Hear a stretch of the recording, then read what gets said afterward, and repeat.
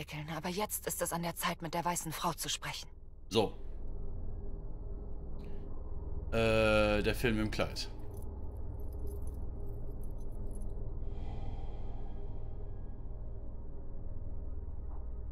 Ich werde das Kreuz ihres Geliebten tragen, um sie anzulocken.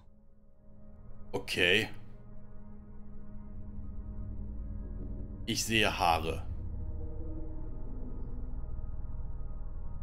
Was passiert, wenn ich jetzt nicht drücke? Danke, Spiel, dass ich mitspielen darf. Eine Haarlocke von mir, um in ihre Welt einzutreten. Ich werde die Tarotkarten benutzen, um mit ihr zu kommunizieren. Die ersten zehn werden wie bei Nanny verwendet.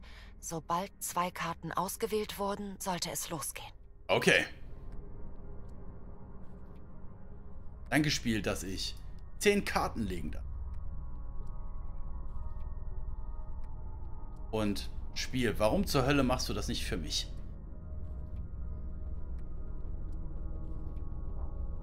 Und die letzte Karte. Okay. Hoi. Du verbirgst dich in den Wäldern, um dich mir zu nähern. Was? Du wärst eins mit dem Wasser, um auf dich aufmerksam zu machen. Hm? Du willst mit mir Kontakt aufnehmen. Ja, ich will. Indem du die Energie der Symbole nutzt. Du nutzt meinen Schmerz, um mich zu rufen. Du bist ganz schön mutig. Das sind wir. Du rufst mich auf der Suche nach Wissen, das ich nicht besitze. Was? Nach Antworten, die ich nicht habe. Ich bin nur ein Gefäß, wie das Wasser, wie die Luft. Ein Gefäß, um sich zu bewegen und zu atmen. Es hat funktioniert. Jetzt muss ich mich für zwei Karten entscheiden. Los geht's.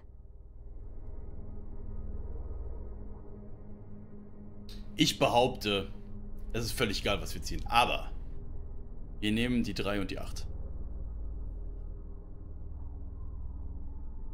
Der Wagen. Warum 3 und die 4? Warum 3 und die 4?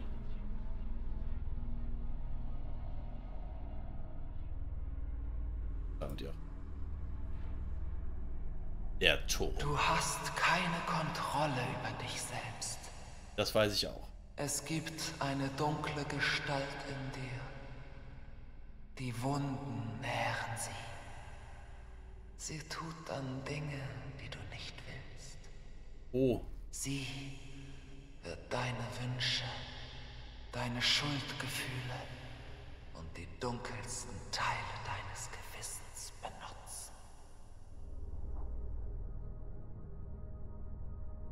Das klingt so, als hätten wir Martha gekillt.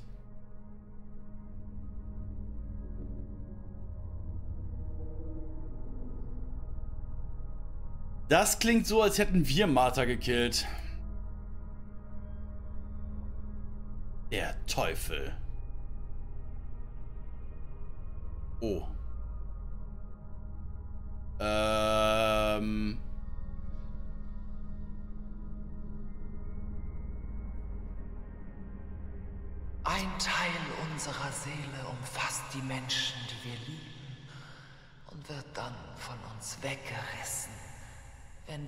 Menschen verschwinden. Die Wunde ist tief und kann nicht geheilt werden. Oh.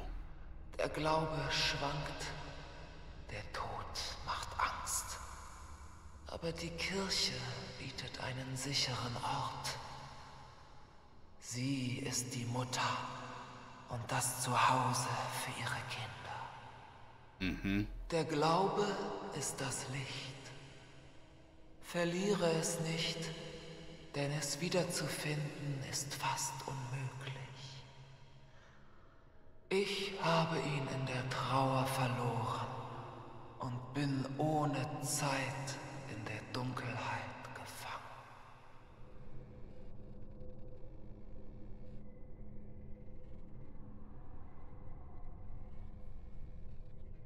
Der Narr. Oh, hier haben wir wieder Phasmophobia am Start. Ähm. Acht haben wir schon. Neun. Der gehängte Hanging Man, nein! Lage sein, Licht und Dunkelheit zu unterscheiden. Der Unterschied ist in der Trauer sehr subtil. Du bist allein und du wirst allein bleiben. Mach mir ruhig Hoffnung. Erinnerungen lassen dich im Stich. Sie sind deine einzigen wahren Gefährten. Mhm. Jetzt nehmen sie den Platz deiner glücklichen Kindheit ein. Und sie können zurückkehren, um dir Gesellschaft zu leisten.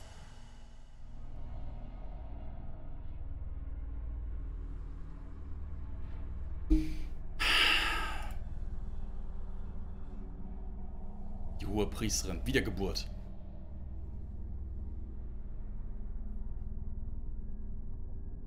Tochter, das Haus, die Mutter. Die Tochter kommt aus dem Haus der Mutter, macht sich dann ein Zuhause und wird Mutter. Ja. Dieser Kreislauf ist durchbrochen. Hm. Um den Knoten zu lösen, suche nach dem Sohn. Er ist die Erbsünde, die sich in dir spiegelt. Derjenige, der dir das Licht gegeben hat, möchte es zurückholen. Sie möchte die Kontrolle haben. Stück für Stück zerbröselt sie dein Leben. Du musst sie aufhalten. Was für ein Sohn. Okay. Mutter, Haus, Kind, ne? Ist klar. Ähm, wird dann selber Haus, klar, wird dann in dem Sinne. Kriegt sie selber Kinder? Wer? Der Freund vielleicht? Der Freund? Der selber gestorben ist jetzt. Nein. Welcher Sohn? Hey. Let's go. Der Tod.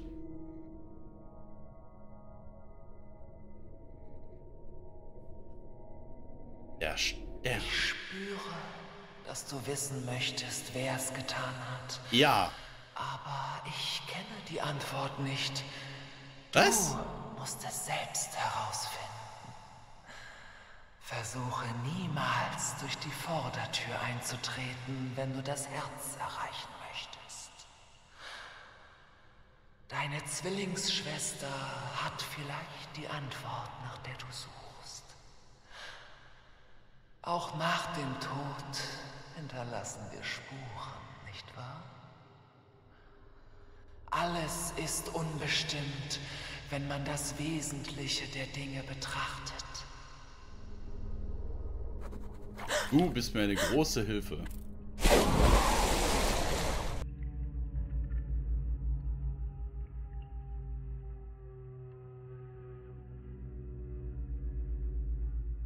Ja.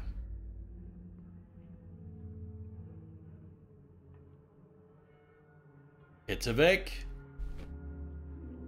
Hm. No, no. Ich wollte schon eine Vermisstenanzeige nach dir aufgeben. Schwangerschaft wurde schon mal thematisiert, ist so. Ähm, bin ich da jetzt gerade? Kann ich mich bewegen? Ui, ich bin... Wieso, wieso bin ich... Ich frag besser nicht. Ich bin ein Fisch.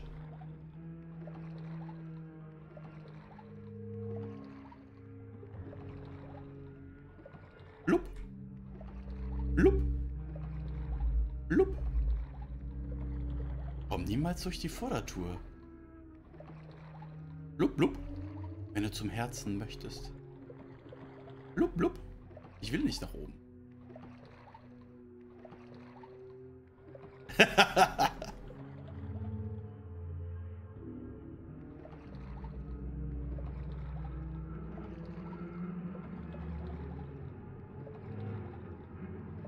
Wir sollten den Film entwickeln. Ja, ja, ja, das denke ich auch.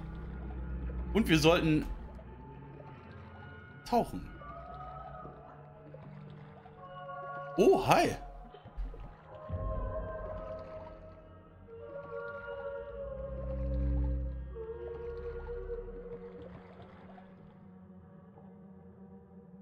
Ui. Fischis.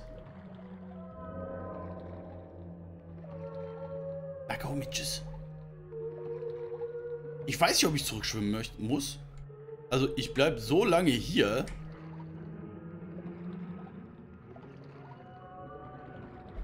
Äh. Äh. Äh. Äh.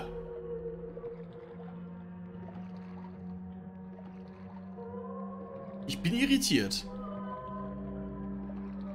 Vielleicht ein bisschen. Hanging Man. Da ist jemand erhangen. Ja. Möchtest du... Ah, ein Schlüssel. Warum auch nicht? Ob ich abgenommen habe? Vielleicht ein bisschen. Danke, Nono.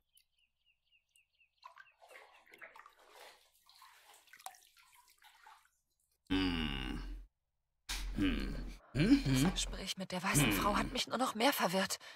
Das Aber wenigstens habe ich jetzt diesen Schlüssel. Das ist, glaube ich, das äh, für das Tagebuch von Martha. Würde ich jetzt sagen. Sind wir. Habe ich. Habe ich da. Habe ich da.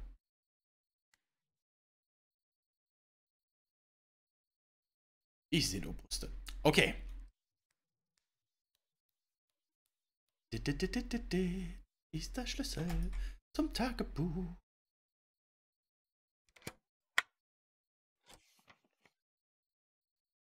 Medizin. 16. Juli. Liebe Schwester. Ach, krass. Ich vertraue diesem Brief meine Geheimnisse an. Wenn du ihn liest, sind die Dinge so gelaufen, wie ich es mir gedacht habe, und ich bin nicht mehr an deiner Seite. Krass.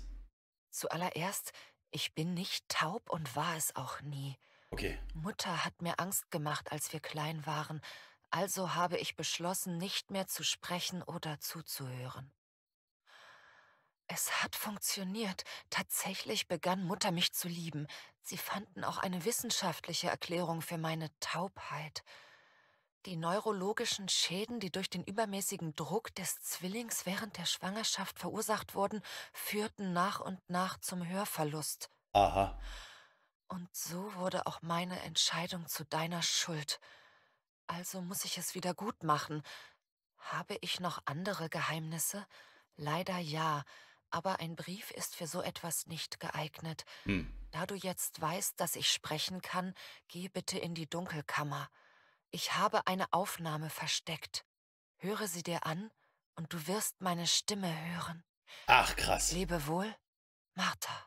Okay, okay, okay, okay. Jetzt Warum bin ich neugierig. Dieser ganze Wahnsinn, Martha. Jetzt, jetzt. Was hast du noch von mir geheim gehalten? Jetzt habe ich Bock. Du hast mir mehr als 15 Jahre lang deine Stimme vorenthalten. Ich kann es kaum erwarten, sie jetzt zu hören. Ich auch. Ah, geil. Danke, Spiel, dass du direkt drüber gesprungen bist. Dankeschön. Ähm, hier?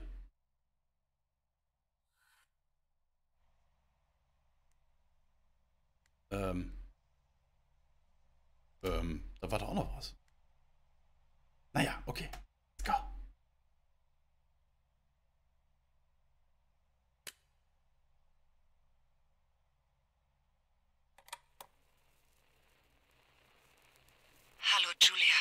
Hallo? Ich weiß, dass das absurd ist, aber das bin ich. Und das ist meine Stimme. Wir sind auch in diesem Sinne gleich. Es ist wirklich offensichtlich. Ich habe im Grunde genommen immer gesprochen. Und du warst meine Stimme. Hä? Okay. Ich werde meine Bestimmung finden. Also möchte ich nicht, dass es noch mehr Geheimnisse zwischen uns gibt.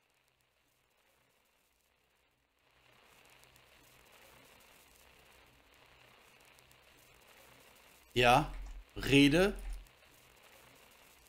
Ich muss dir sagen, dass ich bin. Ich bin schwanger, Julia. Ich bin schwanger mit Blapos Baby. Wir haben miteinander geschlafen. Und ich hatte nie den Mut, es dir zu sagen.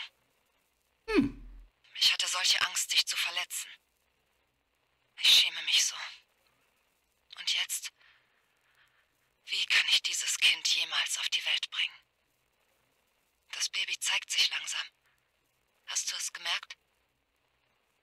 Deshalb ziehe ich mich auch nicht mehr vor dir aus. Aber wie lange kann ich es noch verstecken?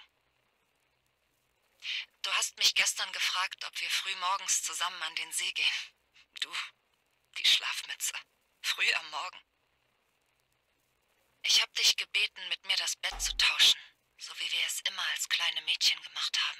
Ich bin in der Morgendämmerung aufgestanden und habe dich nicht aufgeweckt. Ich habe eines deiner Kleider angezogen. Ich habe Fragen. Viele Fragen. Viele, viele Fragen. Also. Okay, ich dachte, dass Julia schwanger war. Die weiße Frau war auch schwanger damals. Und wurde umgebracht von ihrem Freund, der sich daraufhin selber umgebracht hat, aufgehangen an dem Baum in, auf der Insel. So, sind wir jetzt doch Martha? Also hat Martha der Mutter geschrieben, dass Julia schwanger ist und ist dann selbst als Julia in den See gegangen, damit die Mutter Martha killt, in dem Glauben, es wäre Julia. Er wurde aufgehangen, sorry. Befi, du hast völlig recht. Richtig. Richtig. Es war die Mutter. Wir werden sehen. Ich bewege mich mal weiter. Wir werden mehr Informationen bekommen.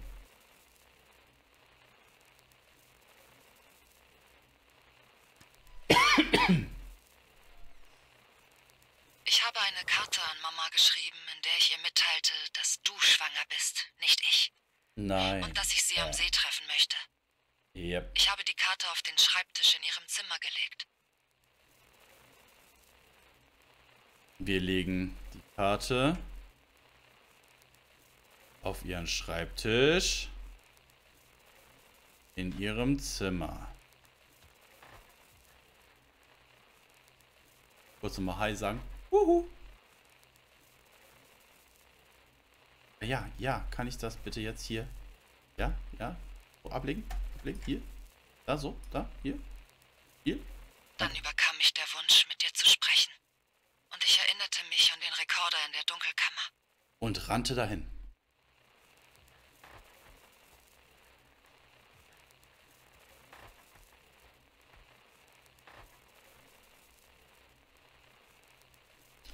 Ähm, also ich versuche gerade zu rennen. Fürs Protokoll.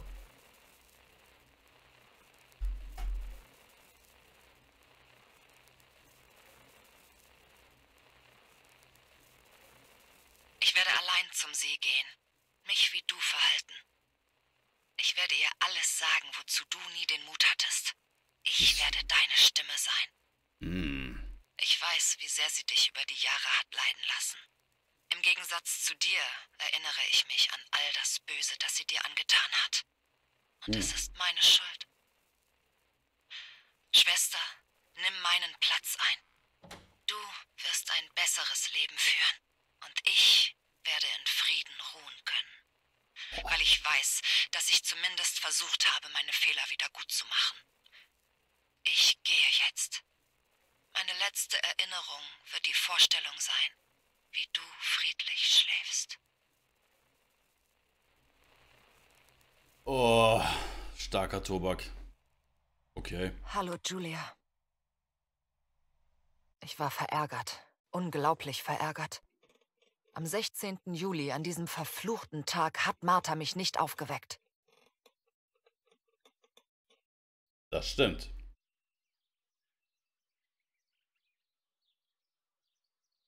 Das stimmt. Es ist der 16. Ähm. Es ist der 16. Hier sind Das ist der Tag, wo wir sterben. Oder Martha. Oder Julia. Es war spät. Martha hatte mich nicht aufgeweckt, obwohl es abgemacht war. Und ich habe wie immer verschlafen. Okay. Martha war nicht da und wir wollten zusammen an den See gehen. Mhm. Sie hat sogar ihr Bett gemacht, was ungewöhnlich war. Ich dachte, Mama wäre früh aufgestanden, trotz ihrer Medizin, und hatte sie gebeten, ihr bei etwas zu helfen. Hm. In meinem Kleiderschrank fehlte ein Kleid. Hm. Ich beschloss, einfach rauszugehen und die Fotos selbst zu machen, ohne dass Martha dabei ist. Okay. Ich bin rausgegangen. Beschloss, die Fotos selbst zu machen, ohne dass Martha dabei ist.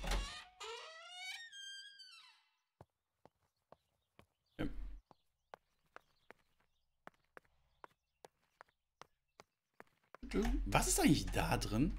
Okay.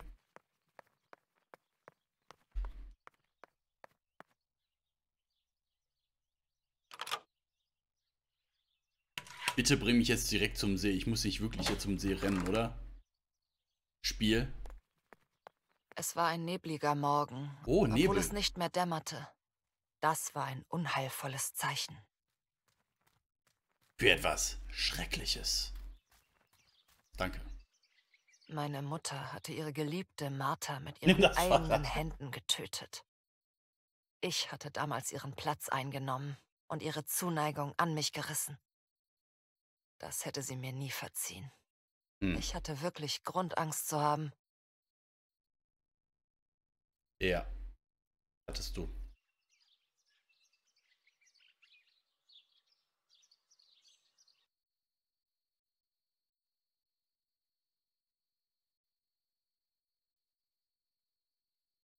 Okay, okay. Also es wird auf jeden Fall einige Fragezeichen. Ich suchte nach einer von Vaters weniger. Pistolen, um mich zu verteidigen. Ah, Was war ich doch für ein dummes kleines Mädchen. okay.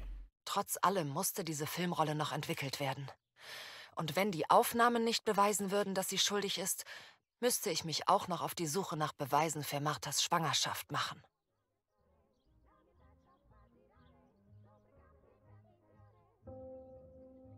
Nochmal, nochmal mal ganz kurz. Ja, ja. Martha war schwanger, aber Julia hat geblutet.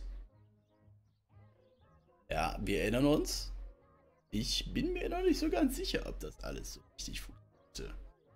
Weil wir wissen ja jetzt, dass Martha auch sprechen konnte.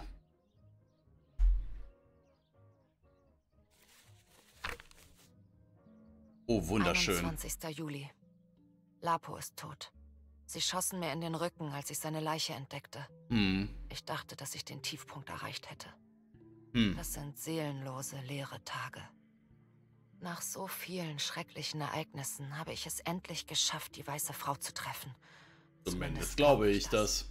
Die Grenze zwischen Realität und Traum wird für mich immer undeutlicher. Frag Ich mich mal. dachte viel über ihre Worte nach, aber sie haben meine Vermutungen nicht bestätigt. Sie gingen mir nicht mehr aus dem Kopf. Vielleicht werde ich ja alles verstehen, wenn die Zeit gekommen ist. Mhm. Ich habe viel über ihre Worte nachgedacht, aber sie brachten keine Klarheit in Bezug auf meine Vermutungen. Sie klingelten immer wieder in meinem Kopf. Verstehe ich. Vielleicht werde ich es verstehen, wenn die Zeit gekommen ist. Jetzt weiß ich mit Sicherheit, dass es Mama war, die Martha getötet hat, als sie dachte, dass sie ich wäre. Noch vor einer Woche hätte mir das alles als unmöglich erscheinen müssen. Ich muss nur den Beweis finden, damit sie für das, was sie getan hat, büßen kann. Aber, aber, ja, aber, aber Lapo, oh, der Freund von Julia, hat aber mit Martha geschlafen und mit Martha ein Kind gemacht? Nur mal, nur mal so zur Erinnerung. Ich sag euch, die ist schizophren.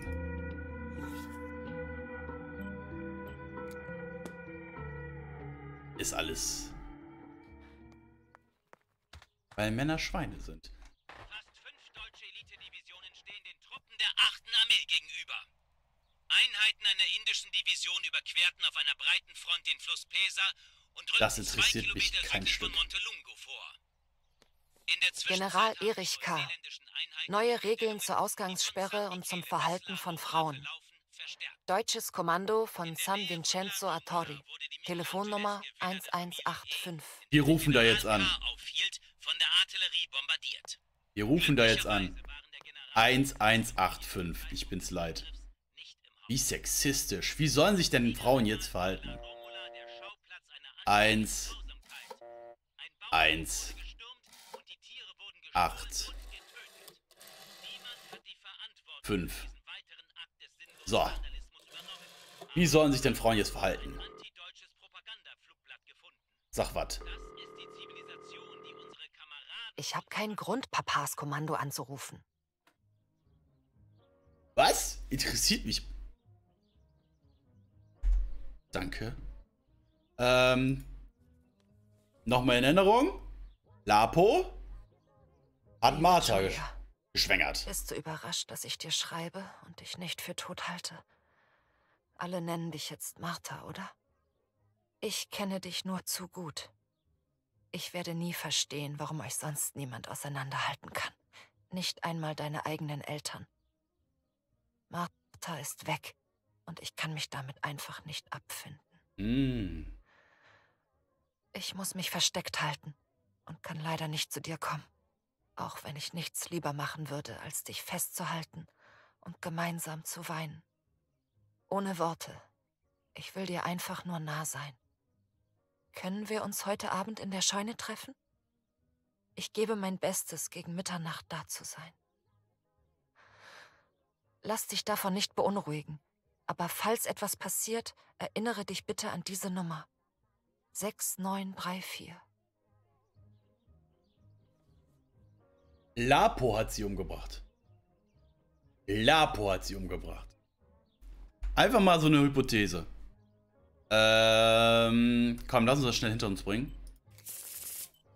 Weissagung. Zack.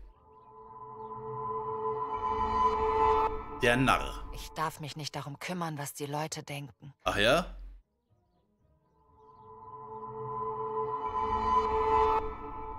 Sonst wird mich die Der Angst Teufel hat Brüste. abhalten, mich der Situation zu stellen. Halten wir das auch mal kurz fest.